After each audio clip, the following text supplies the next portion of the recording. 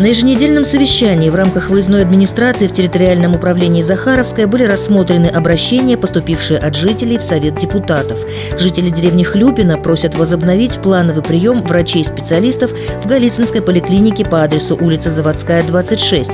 На сегодняшний день администрация Одинцовской областной больницы решает кадровый вопрос. Идет поиск врача общей практики, который сможет работать в Хлюпино. Глава округа Андрей Иванов взял ситуацию на контроль.